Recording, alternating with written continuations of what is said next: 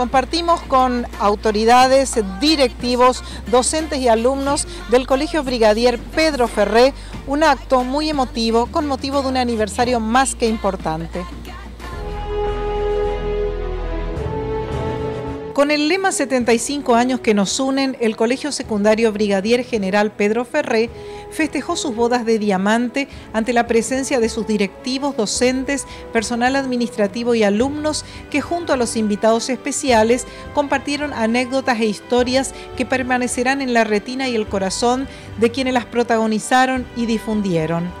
las banderas de ceremonias de Corrientes y de la ciudad, de los establecimientos invitados y también del anfitrión, presidieron el emotivo acto que se realizó en dependencias de Gendarmería Nacional en una mañana cálida y soleada.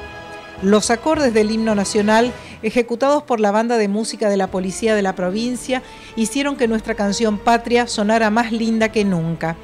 Hubo ofrendas florales al patrono del colegio, además de reseñas históricas, reflexiones y pensamientos a cargo de ex directivos y ex alumnos que cautivaron al público que allí se dio cita.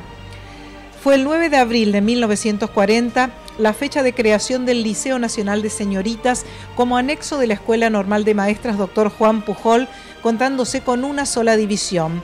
Ocho años más tarde, en 1948, se desanexa de la normal y en 1957 se impone el nombre de Brigadier General Pedro Ferré al Liceo Nacional de Señoritas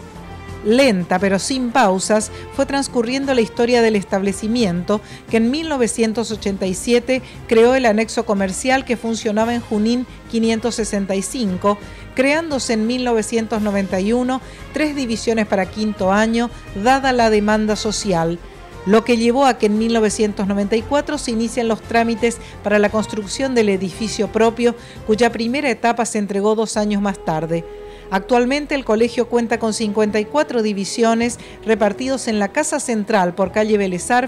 y el anexo en la Escuela 430. Agradecemos a la profesora Nancy Sarazúa por la invitación.